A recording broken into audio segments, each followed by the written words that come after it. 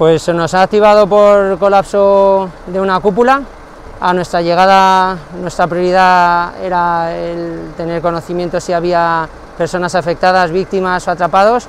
Afortunadamente no, había, no ha habido daños personales, sí que ha habido numerosos daños materiales porque ha, eh, se han, han caído escombros a vía pública, generando desperfectos en mobiliario y en vehículos.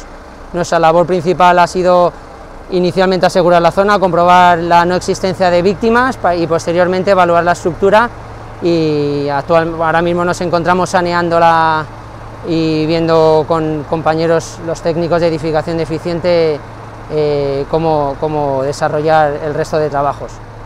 En principio no hay daños estructurales, los únicos que hemos visto son daños estéticos, eh, fisuras en, en molduras, falsos techos, pero estamos valorando, todavía es pronto para, para determinarlo.